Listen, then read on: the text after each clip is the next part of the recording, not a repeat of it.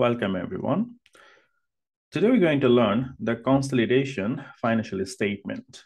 So we're going to look at one question, and we're going to look at all the workings that is relevant to the consolidated financial statement, and we're going to explain in detail so that we understand the breakdown and the reason and how to adjust the consolidated financial statement. Now, this is a very much important for your uh, financial statement paper. And in the exam, definitely one question will be there. So you need to be very much careful to uh, remember all the workings because this question is mainly based on the workings. So if your workings is good, if you know how to adjust the figure, it will not take too much time to complete the financial statement. But if you find difficulty on the workings, then it might be a little bit complicated for you. So let's try to read the question very carefully. And I'll try to explain every single adjustment we require in order to complete our financial statement.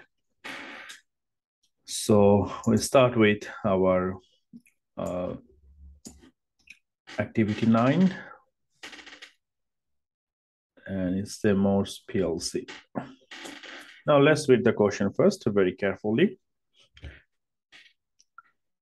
MPLC acquires 60% of the issued share capital and voting right of Lewis Limited on 1st January 2010 for 24,000. Now, few information we understand from the first line. The first one is 60% acquired.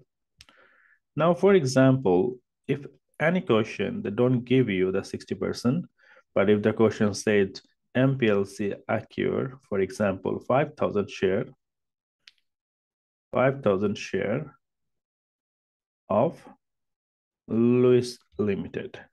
So what we have to do, we have to look at the Lewis Limited financial statement.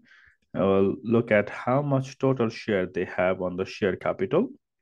And we have to see how much the parent company buying. For example, if the Lewis Limited have 10,000 total share capital, and if the Morse PLC buy 5,000, that means we can understand they buy 50%.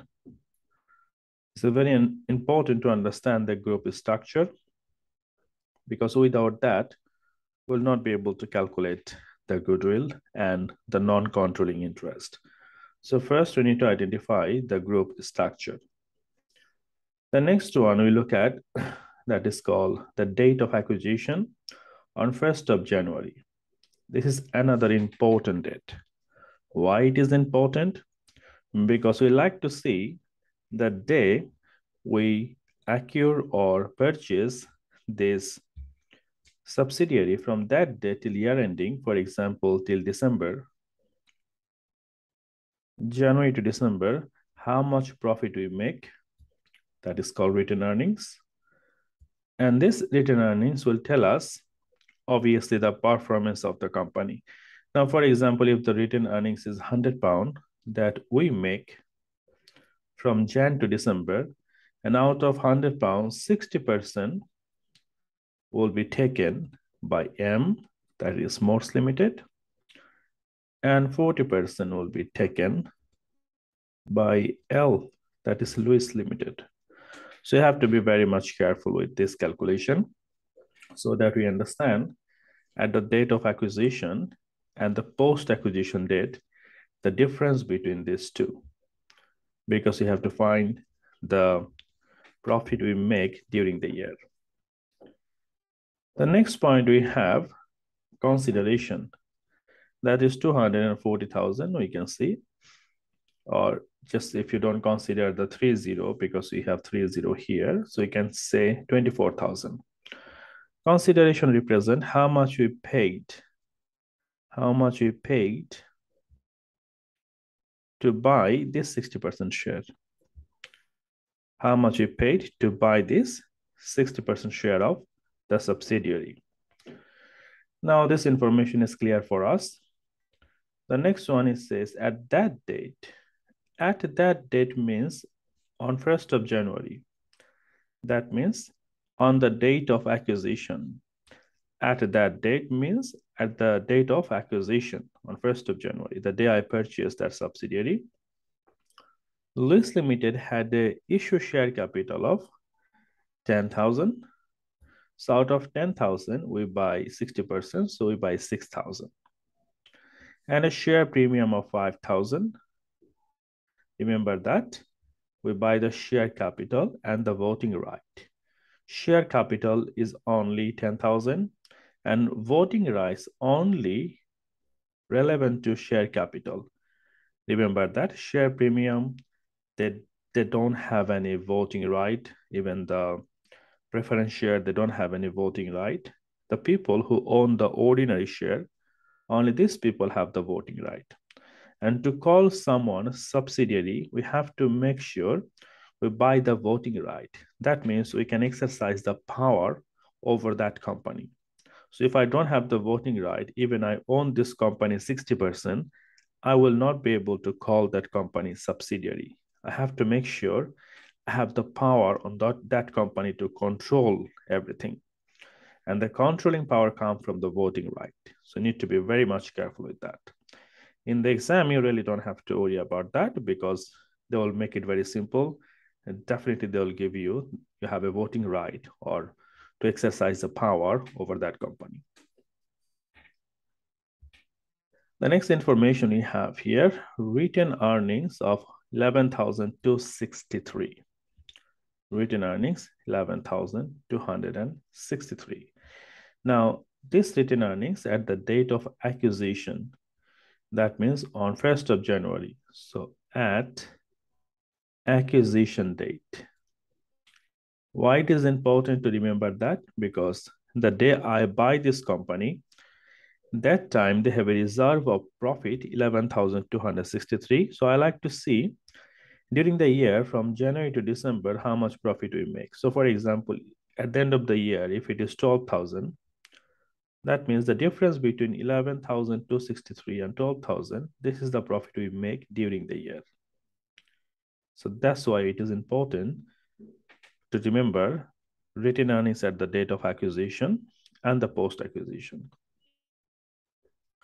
Extract of the financial statement of financial position for the two companies at 31st December 2010 are shown below. So looking at the financial statement for this two company, let's quickly have a look. And after that, we'll look at some adjustment. Then we'll start our question. So if we look at the financial statement for this two company, so we can see here we have asset and the liability and the asset and liability has to be equal. So for both company, total asset has to be equal to total equity and liability.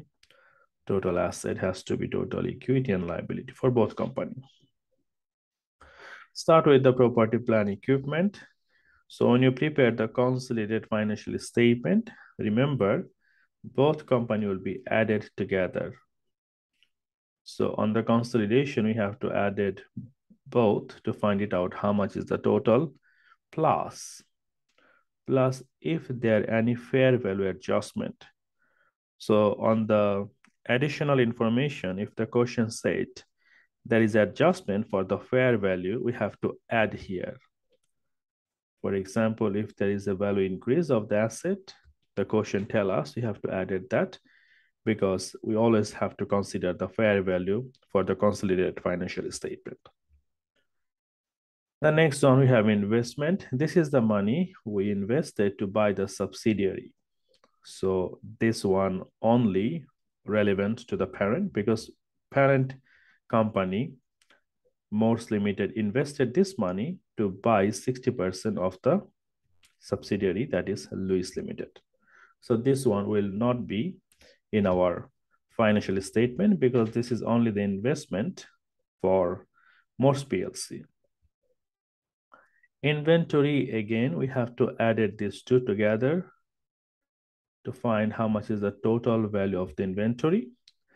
And one thing we have to remember, if there is any, if there is any provision for unrealized profit, PUP, provision for unrealized profit, we have to take away. So make sure we have to less. What is provision for unrealized profit?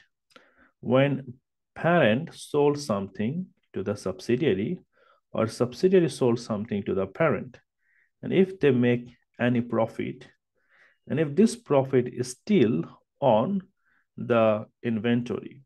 So if parent sold something to subsidiary and the subsidiary sold something to the parent, and if the profit is still inside on the warehouse or on the stock, this profit has to be eliminated because we cannot have a profit between each other. So it is called intercompany profit. We have to eliminate the intercompany profit. So from the question, we have to look. And if we see, is there any profit is still we have left on the stock or on the, on the inventories, we have to find it out how much it is, and we have to minus it from the inventory.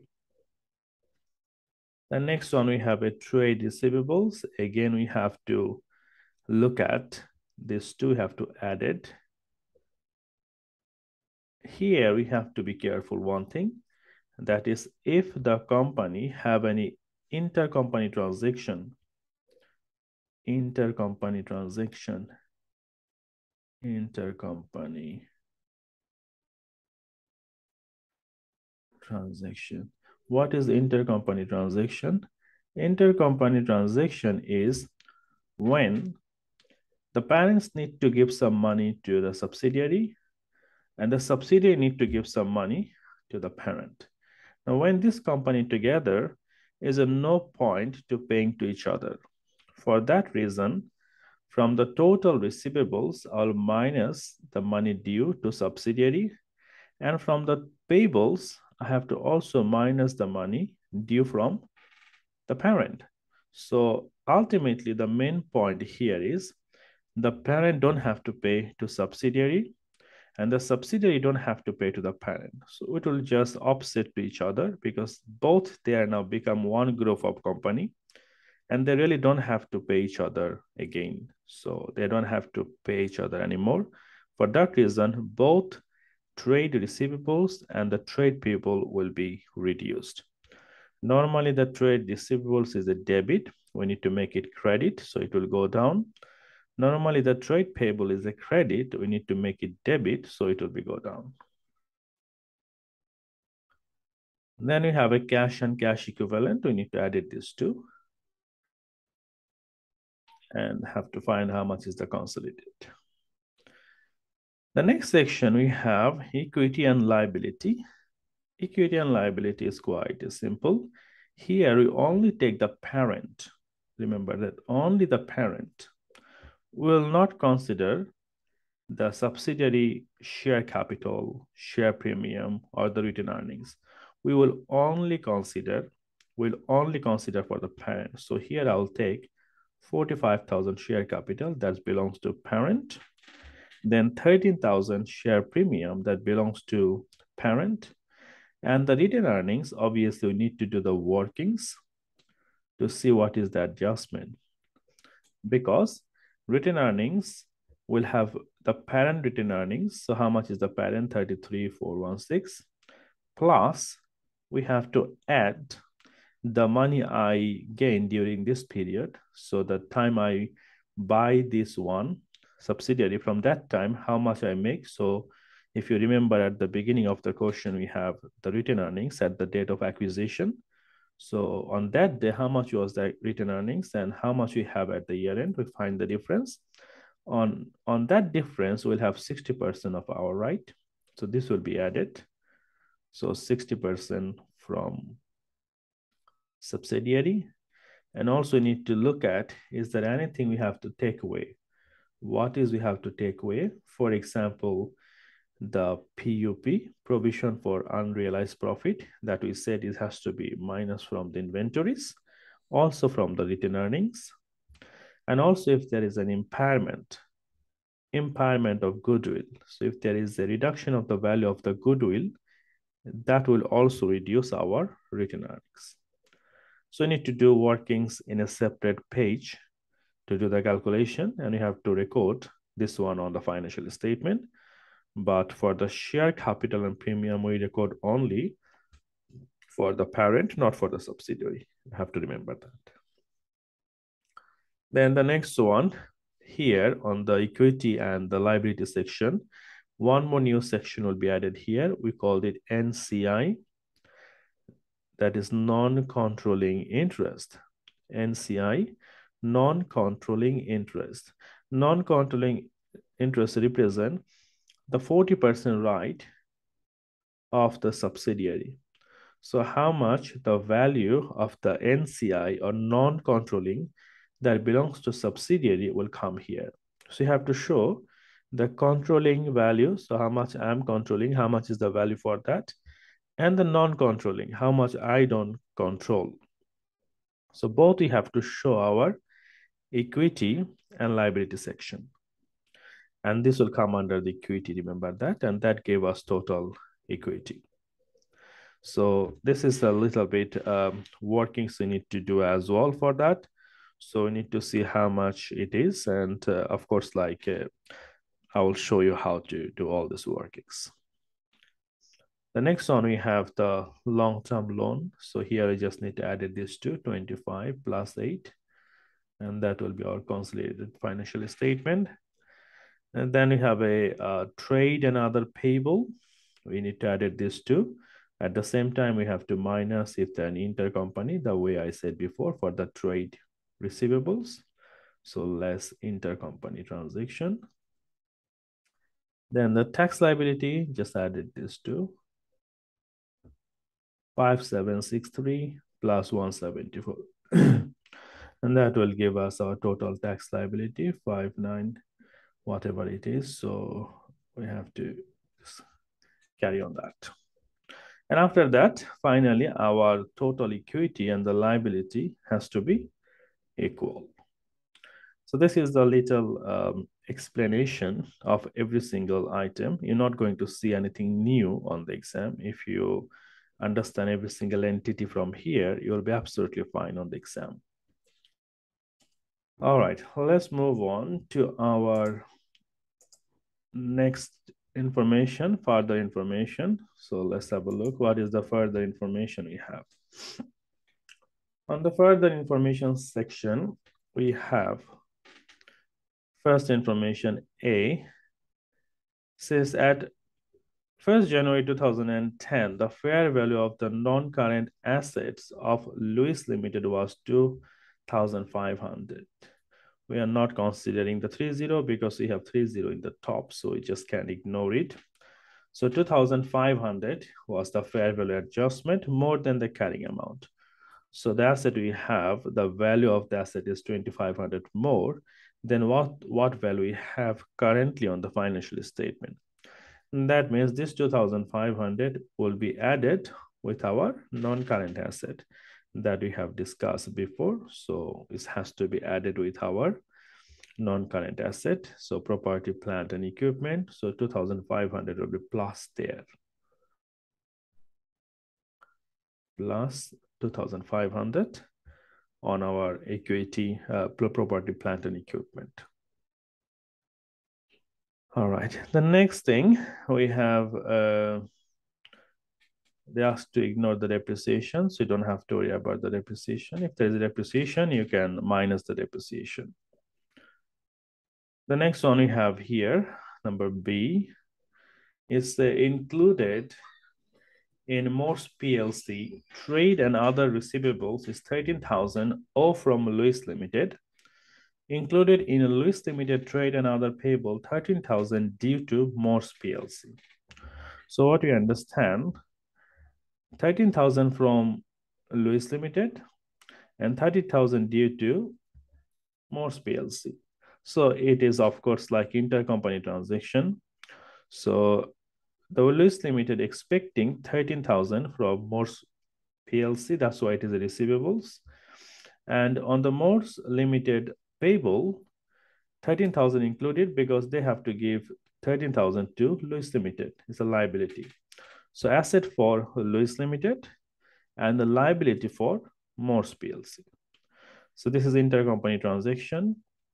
All you have to do, you have to minus 13,000 from the trade receivables and minus 13,000 from the trade payable. That's it. Because they will not pay to each other anymore. So it has to be offset by doing the reversal journal. So we'll make trade receivables credit and trade payable debit. The next one we have here, number C, it said during the year, Morse PLC sold some inventory to Lewis Limited for 50,000. So Morse Limited sold to Lewis Limited. So parent selling to subsidiary. This good cost is 30,000. So that means if I sold it for 50 and the cost was 30, that means I make a profit of 20,000. The profit is 20,000. The next question is, is there any still left on the inventory? If nothing is left, I have no problem. But if something is left, we have to find it out, the provision for unrealized profit for that. So you can see here, the question said a quarter of the a quarter of these goods still remaining in the inventory. That's the problem. So we need to find it out how much it is. So a quarter means one fourth. So you have to divide by four times by one. And that will give us 5,000. So 5,000 is the PUP, provision for unrealized profit. Now what we need to do for that? We have to minus it from RE, retained earnings, less from there, RE from parent. Remember that. This one has to be careful. You minus the profit who sell the inventory. So if the subsidiary sell to parent, you have to minus it from the subsidiary retained earnings. If the parent sold to subsidiary, then you have to minus it from the parent retained earnings. So here parent is selling to the subsidiary. For that reason, we have to minus it from the parent written earnings. And also this one have to be minus from the inventories. From the inventories, we have to minus this 5,000 as well, less. So 5,000 will minus from RE, from parent. 5,000 is minus from the inventories. The next one it says the director of Morse PLC have concluded that the goodwill has been impaired by 674. So impairment of the goodwill, so you have to minus it. Impairment of the goodwill, we have to minus it, the goodwill from our uh, earnings. So this will have a minus from retained earnings. So RE will be less by 674. Need to be very careful. If it is impairment of the goodwill, RE will be less. Also, the goodwill 674 will be less. So from the goodwill, we'll minus 674 because the value of the goodwill is reduced or impaired. And also it will reduce our profit. So it will have a two impact. The last one we have, Morse PLC has decided that non-controlling interest will be valued at its proportionate share of the net asset. So you have to value the NCI, non-controlling interest, with the value of net share, uh, proportionate share of the net asset. That is 40% share belongs to NCI because 40% owned by the non-controlling or the subsidiary. So this is a story Uh, of our adjustment. And now we can complete the question because now we have all of this.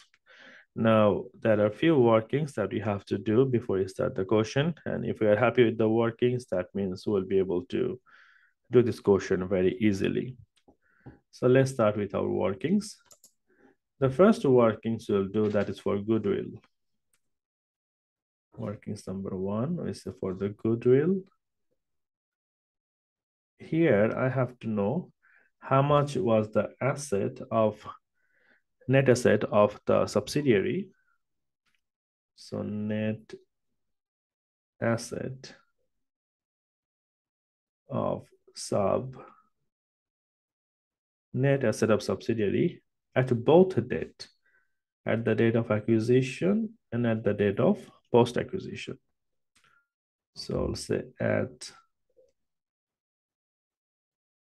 acquisition date, ACQ, acquisition date, and post acquisition date. Post acquisition date means year ended date.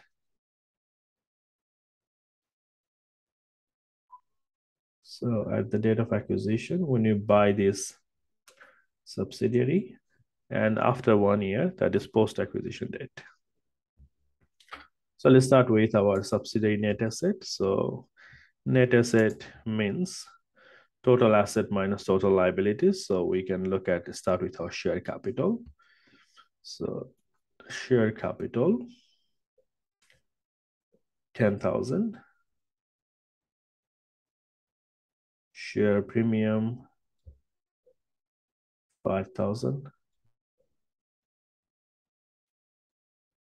Then retained earnings, remember that at the retained earnings, we have two retained earnings, one at the date of acquisition, one at the date of post-acquisition. So this one we have on the financial statement, that's the year end. This is post-acquisition. So that is 17,763. And this share capital have no change. It was 10,000 at the beginning, the question said. and also share premium also was beginning 5,000, now 5,000. So they did not issue any new share capital or any new share premium. If on the acquisition date is different and the post acquisition is different, you have to make sure you look at the question very carefully. But here on the acquisition date, they said it was uh, 10 and 5. And also like on the financial statement that is year ended 31st of December, still it is 10 and 5. If you look at the question at the beginning is 10 share capital, 5 share premium, and the retained earning 11,263. So this is retained earnings at acquisition date, it was 11 2 6 3. That's it. Now we will be able to look at our next thing. The next thing we had here, if you remember the fair value adjustment, they said uh, 2500 need to be increased, the non-current asset. This will have impact on our net asset as well for the financial statement.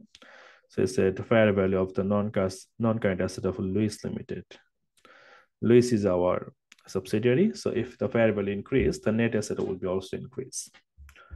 So right here, fair value adjustment and you write 2500 and 2500 and that's it. More or less we find our net asset for the subsidiary. We'll add this two together. So if we added all of this we have total 28,763 and if we added this one that will give us 35,263. Now we know from the day we buy this one, we buy 60% on the date of acquisition. So we said we buy 60% of the total net asset. So the net asset subsidiary have, I own 60%. So if I own the 60%, the value of the 60% of the net asset is 17,257.8. So 60% I own. And the next question is how much you paid for the 60%? So if you look at the consideration that we discussed before as well, so the consideration of the 60%, we paid 24,000 pounds for that. So the value of the net asset of 60% is 17,257, but actually the consideration, consideration, or we paid actually 24,000. That means we paid more than the net asset. It will be always happen. We will be always paid more. And for that reason, the difference will come as a goodwill. So the value was uh, 17,000, but we actually paid 24,000. So the difference will create, we called it goodwill. So six, seven, four, two. Can make it round it to 6,742 pound. And that's our goodwill. Because we paid extra. So the value of the 60% of the total net asset was 17,257, but we paid 24. Why we paid extra? Because of the goodwill. How much? 6742. And finally, one more information we have on the question, that is the goodwill is impaired. Goodwill is impaired by 674. So we need to reduce this one, impairment. So less impairment, less impairment. That is 674. If you minus that, so our net goodwill value is 6068. Goodwill. This one we need it because obviously we have to show the goodwill value in the financial statement. The next one, we need to look at the NCI percentage, non-controlling interest. So very simple. If 60% I own, then 40% owned by the NCI. So just need to calculate how much is the 40% of the post-acquisition. And that will give us 14,105. 14,105 and that's my NCI. That's it. This is our first workings. There's the main workings and the big workings. So if you understand that, it will be absolutely fine. Some uh, books or some uh, method uh, can show you different way of calculation, but it's up to you how you understand. There is nothing wrong with that if you do the workings different way. Uh, but it depends up to you how you understand it uh, more clearly and this makes sense. So the way you understand, you can follow that way. The next one we have the adjustment. This is for intercompany. So we said 13,000. Number two, 13,000 have to be minus from both 13,000, 13,000. So it's a working is number two. They have to make a trade payable for Morse PLC. We'll make it debit because we're not going to pay this liability, 13,000. Normally trade payable is a credit, we're making a debit because we're not gonna pay. And trade receivables on the Lewis PLC account or Lewis Limited account. We'll make it credit because we're not going to pay, not going to pay that to the MPLC. 13,000. It's quite simple. The next one we have workings for the workings three. That's for the inventory. So the inventory we have here. First, I need to look at how much is the inventory you have on the quotient. So inventory so we have this plus this, 18,283 plus 14,684. So that will give us 32,967. And you have to minus the POP less unrealized profit. And that is 5,000 because we have showed this one, 20,000 was the profit. And one fourth is still on the inventory. So 5,000 have to be take away from the inventories and from the retained earnings both. So our inventories values will be 27,967. 27,000 967. All right, this is our workings number three. And we have one more workings, that's it. That is called retained earnings. So let's do the retained earnings. Retained earnings. So retained earnings, as we said, you follow the parent only. So we said parent RE how much was the parent retained earnings? So we said it was 33,416. 33,416 is the parent retained earnings. Then we have to find it out how much is our profit from the subsidiary. Now, if you remember, when you buy, the retained earnings for the subsidiary was 11,263. And at the end of the year, we have 17,763. So we make some profit during the period. So I need to see how much it is. So 17,763 minus 11,263 and the difference we have, we have 40, 60% right on that profit because I have accrued 60% of the subsidiary. So the profit I make from the day I buy the subsidiary and uh, for one year, whatever profit we make together, I have a 60% right on that profit. And that will give me 3,300.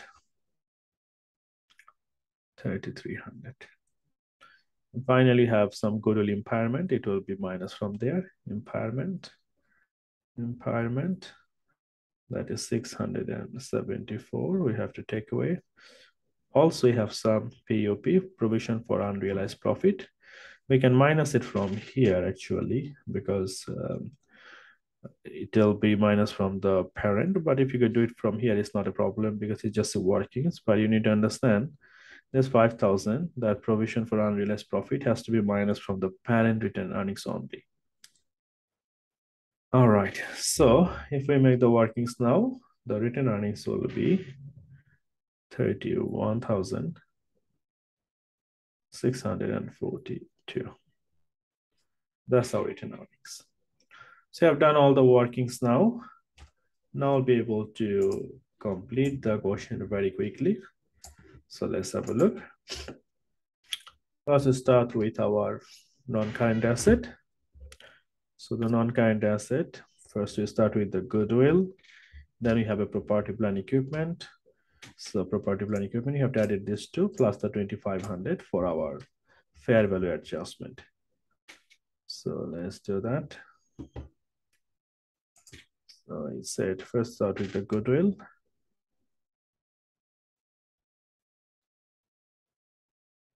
goodwill. And the goodwill workings we have, the goodwill we have here, 6068. 6068. That's the first workings. Then we have uh, PPE. We said we have to add it this to parent and subsidiary. That is 63,781 plus 27,184 plus the fair value adjustment 2,500. That's it. And that will give us 93,465. And if we added this two, that will give us total 99, 533. So our non-current asset is done. Then we move to the current asset. The current asset, we have inventories. Inventories, we have to add both parent and subsidiary. So we have from the parent, 18,283, 18,283. Last, we have a subsidiary, 14,684. And we have to make sure we minus our POP. That is 5,000. We already done the workings here. You can see 227, 967. 27, 967 will be the inventory. Then we have a trade receivables, trade receivables. So you have 29,000 parent, 474 is parent. Plus 14,000 0 to 3 minus 13,000 is the intercompany transaction that we show. 13,000 will not pay will make that trade receivables credit 13,000 so that will give us total 30,497 then we have a cash and cash equivalent. So cash. We have 28 72 for the parent for the subsidiary we have 88 and that will give us 2960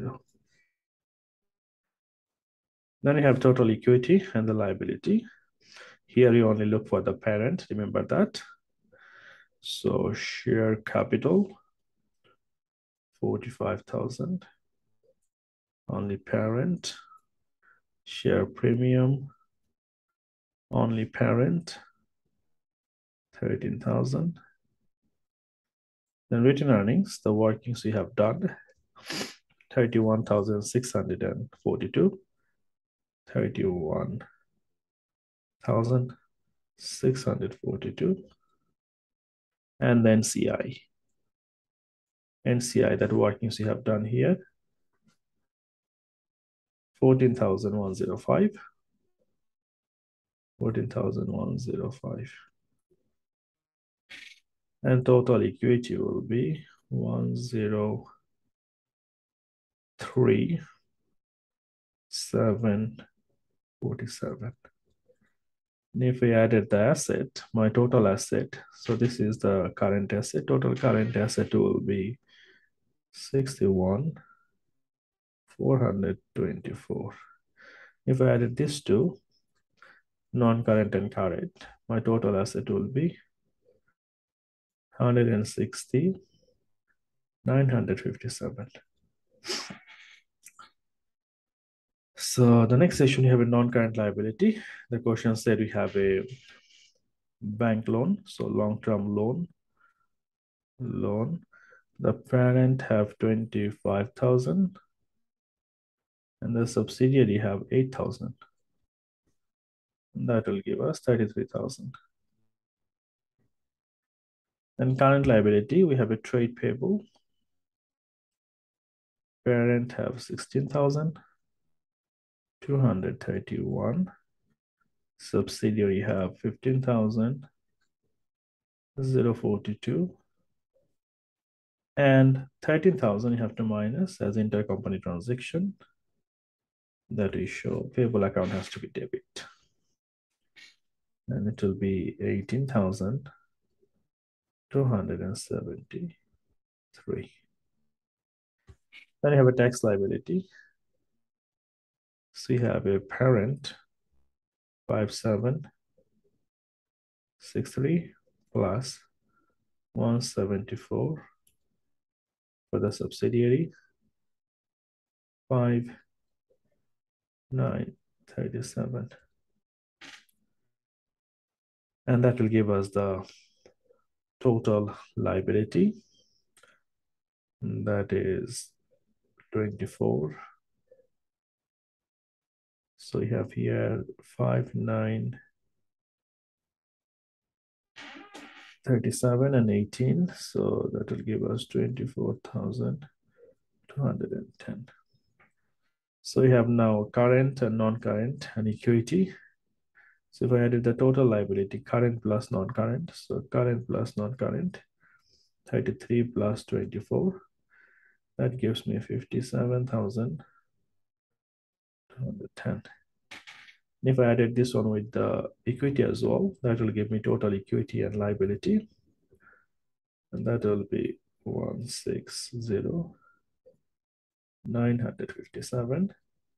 That is exactly will match with our total asset.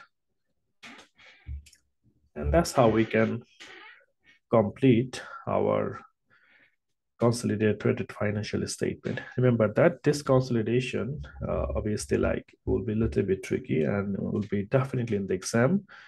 either the financial statement or the profit and loss account. So in this section, we have learned our financial statement position, and maybe later on, we'll be make another session for the profit and loss account. Hopefully, if you practice all the workings and if you understand all this additional information, you will be absolutely fine for this exam. Uh, but as I said, you need a practice and it's not difficult, but could be tricky. Only the way you can do better to understand the whole picture, try to understand every single reason why you add, why you're taking away, and try to understand the story behind the calculation. Do not just memorize because otherwise you'll forget. Try to understand every single adjustment, why you're doing it, and what's the reason behind. Try to practice the workings so many times on the paper and try to make a note for that. And that's how you can make yourself more ready in the exam. Remember that in the final exam, you're not gonna see more than this.